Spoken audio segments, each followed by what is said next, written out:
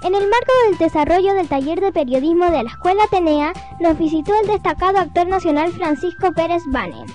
Pero contenta de recibirlo. ¿Cuántas chicas hay acá en el colegio? 470 y felices de que puedas venir a compartir con las niñas, con nuestras periodistas futuras. Ojalá Dios quiera así sea. Gracias, mi linda.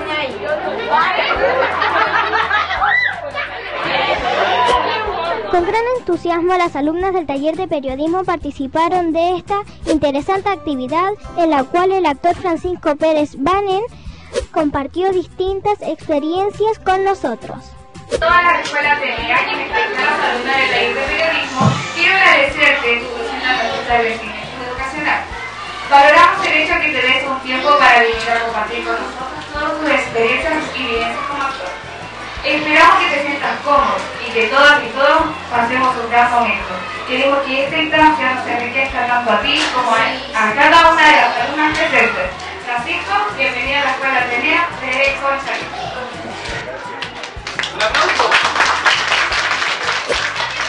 Yo quiero agradecerles primero que todo por esta invitación. Estoy aquí única y exclusivamente por cada una de ustedes, porque me interesa mucho el trabajo que han hecho en este taller, porque dedicarle horas extras a hacer un taller como este habla también muy bien de ustedes, de la inquietud que tienen por ir adquiriendo más herramientas, en este caso las del periodismo. Así que para mí es un honor. Les agradezco también el cariño con el que me han recibido y estoy seguro que va a ser una conversación muy entretenida y muy relajada. Así que las invito a que me pregunten lo que quieran.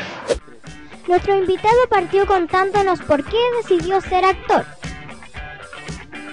Encontré que en el teatro se reunían para mí todas las cosas que a mí me interesaban, porque en el teatro tú trabajas en un equipo con otros actores, trabajas con una estética, entonces eso tiene mucho que ver con, con, la pintura, con la visualidad, trabajas con un texto, entonces eso tiene que ver con la dramaturgia, con la literatura, y, finalmente opté por el teatro y soy muy agradecido de haber tomado esa decisión porque es un oficio que me ha hecho tremendamente feliz, del cual estoy muy agradecido y también estoy muy realizado haciendo lo que hago. El actor nos confesó que incluso abandonó la carrera de leyes para dedicarse a la actuación. Yo primero estaba estudiando Derecho. Y resulta que iba a las clases de Derecho y cumplía, no me iba mal, pero después cuando terminaba las clases partía al cine, partía al teatro, agarraba un libro y yo sentía que todo eso que hacía a mí me hacía vibrar más y me gustaba más que cuando yo estudiaba Derecho. Pero cuando uno está movido internamente por una convicción y por algo que uno siente que ama hacer, es todo mucho más fácil. Lo que después cuesta mucho más en la vida es seguir haciendo algo que a uno no le gusta. Eso es muy terrible. Francisco Pérez Banen aprovechó la oportunidad para expresar su preferencia sobre actuar en cine o televisión. Valoraba mucho más el teatro porque, bueno, fui formado en el teatro eh, y también eh, tuve mi primera compañía de teatro y casi todas las herramientas actorales las la adquirí de ahí. Pero también en el tiempo y después trabajando en televisión me fui dando cuenta que la televisión eh, es un tremendo training para un actor. He aprendido a valorar eh, es, las, las tres cosas como disciplinas que a uno como actor te entregan cosas distintas. Una de las preguntas que le formuló una de nuestras compañeras del taller fue sobre la fama y sus consecuencias. María Rojas del séptimo año B. Eh, bueno, Francisco, ¿te consideras una persona famosa? ¿Qué es lo bueno y lo malo de la fama? Considero que soy una persona eh, conocida, eh, si tú quieres, una persona pública. Y, y fíjate que en el tiempo he asumido eso también como una responsabilidad con mucho cariño.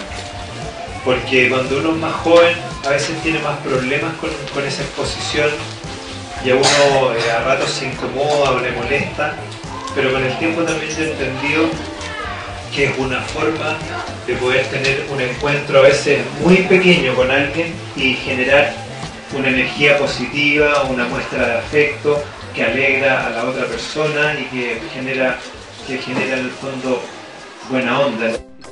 El destacado actor chileno también nos dio su parecer sobre el fenómeno de la farándula en los medios de comunicación.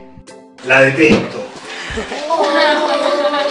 Me carga la farándula porque encuentro que la farándula sobre todo hace algo que, que nunca debería existir en las relaciones de las personas que encuentro que denigra muchas veces.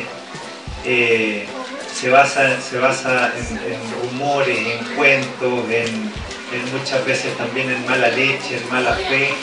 Y encuentro que el mundo está demasiado lleno de eso como para que además eh, los canales den horas de su programación esa estupidez. Pero no solo la actuación es una de las pasiones de Francisco.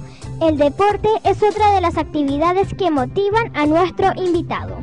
Siempre me ha parecido que el deporte eh, es muy importante en la vida porque nos permite una vida más saludable. Eh, a mí por lo menos me hace sentirme bien. Eh, y no solamente en el trabajo, que uno necesita tener mucha energía y estar también físicamente muy activo, sino que también me ayuda a, la mente, a despejar la mente, cuando uno se siente cansado, un poco estresado, eh, salir a correr, andar en bicicleta, bailar, lo que sea, cualquier actividad física eh, es súper importante porque nos permite mantener un equilibrio.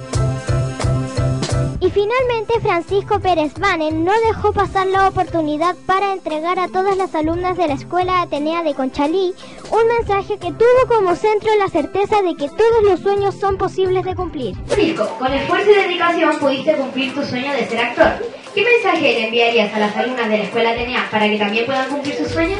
Lo primero es saber que los sueños se pueden cumplir y se pueden cumplir, eso, eso, eso es algo en lo que también hay que confiar y hay que creer. Eso significa que nosotros podemos ir en busca de nuestros, sueños y los podemos ir construyendo en la realidad. Pero para eso es fundamental lo que dijiste antes también, la constancia, el esfuerzo, el compromiso, la confianza, la cooperación.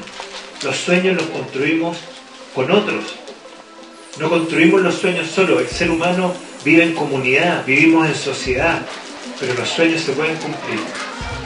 Hay que, hay que creer en eso y hay que trabajar para eso.